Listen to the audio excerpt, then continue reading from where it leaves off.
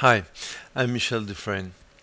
I'm an independent consultant in the New York City area specializing in rule-based business application. This is part two of a three-part series on how we can use the semantic web technologies for specifying the, the domain model of rule-based business application. In the first part, we looked at the web ontology language, which is a W3C standard, and in particular uh, we looked at the OWL-DL, which stands for description logic. Description logic is a uh, based on a formal logic-based semantic, and we look in the case of AL um, at the six class descriptor um, that are available for building um, complex um, class uh, as expression uh, of other classes. For example, uh, we looked at um, at the definition of the impressionism art collector being defined as the uh, intersection between art collector and all of the individual that has at least one artifact of type impressionist painting. And in turn, Impressionist painting class is defined as the intersection of late 19th century French painting style class and the artifacts with paint stroke of unmixed color. Now, if we look at it from a visual diagram, we see that um, the Impressionist art collector uh, being defined as the conjunctions of those um, two uh, class descriptor that impressionist art collector must be a subclass of art collector which means that every impressionist art collector must be as well a art collector.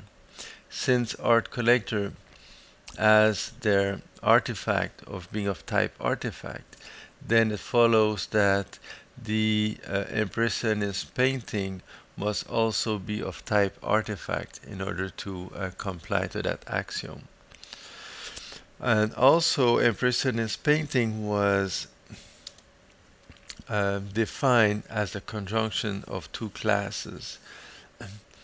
Uh, the late 19th century painting style um, class and artifact with paint stroked of unmixed color. It uh, logically follows that Impressionism uh, painting class must be a subclass of all those three classes in order for all of the axioms to be uh, true at the same time. So we see that when we express classes, um, with class expression that has very clear semantic meaning, uh, we can deduce the type hierarchy or the class subclass relationship of the domain model in order to uh, have the class axioms to remain valid based on description logic.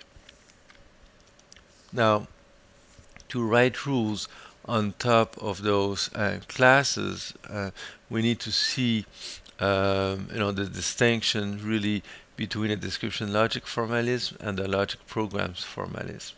In description logic, um, it complies to the open world semantic, uh, which means that it does not assume that the information is complete in the knowledge base.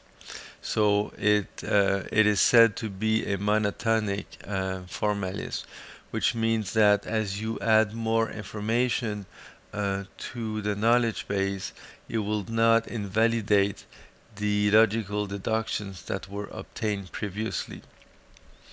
While logic programs, it complies to the closed world semantic, which is a well-known semantic used in relational databases um, where it assumed the information to be complete.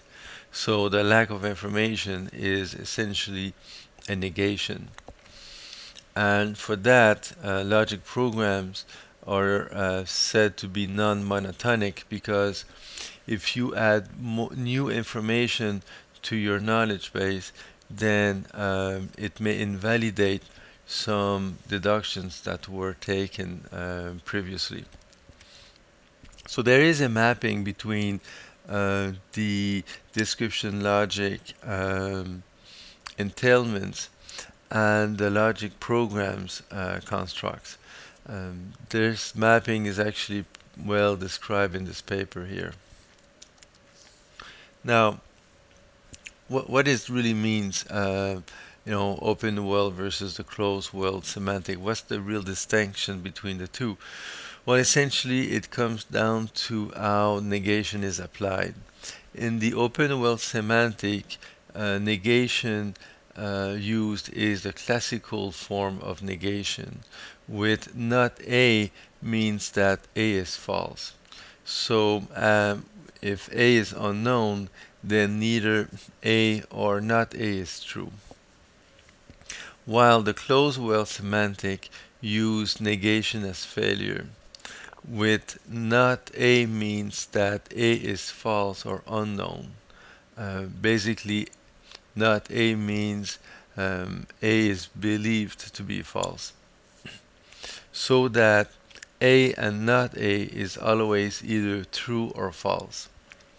So, uh, as a consequence, when information is added to the knowledge base, um, some logical entailments needs to be adjusted to take consideration of the new information because uh, what when A was believed to be false now could um, be found to be true, uh, which is a consequence of the non-monotonic nature of negation. Now, to write rules on top of ontologies is essentially a two-step process. First is um, you you choose your ontology and construct all of your uh, class constructors and axiom in the ontology and you can use a uh, description logic reasoner to ensure that the model is consistent. Then you could add rules that use negation as failure to make the whole model non-monotonic and to make it consistent with behavior as expected uh, that we have in relational databases, for example. However, um, care must be taken to avoid adding rules that are class constructor or uh, class axioms. These rules uh, should be put into the ontology so that we could ensure that the ontology remain consistent. So that completes the uh, second segment of uh, the uh, three-part uh, presentation. Uh, the next segment will talk about how this can be used as a foundation for a model-driven architecture. Thank you.